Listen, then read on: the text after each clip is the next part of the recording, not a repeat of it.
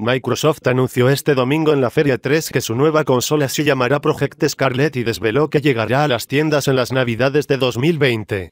El máximo responsable de Xbox, Phil Spencer, aseguró que Project Scarlett es la consola más potente y con rendimiento más alto que jamás han diseñado en la compañía estadounidense.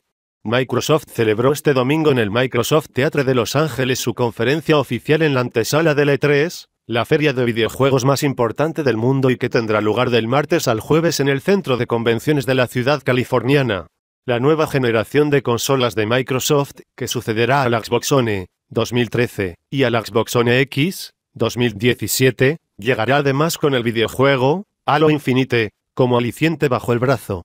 Aunque solo se conocieron hoy unos pocos detalles de Project Scarlett, Microsoft aseguró que su nueva apuesta será cuatro veces más potente que la Xbox One X y dijo que será compatible con el 8K.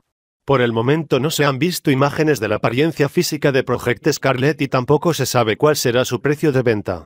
Está previsto que Project Scarlett compita con otro gran y esperado lanzamiento dentro de las consolas de alta gama, la sucesora de la PlayStation 4 que está preparando Sony.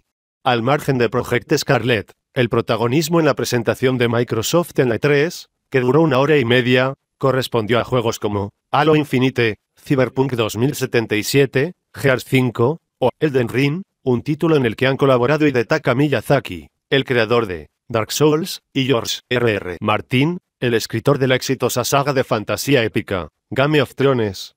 Entre las sorpresas de la conferencia de Microsoft destacó la aplaudida aparición sobre el escenario del actor Keanu Reeves, que ha prestado su voz y figura para el videojuego Cyberpunk 2077.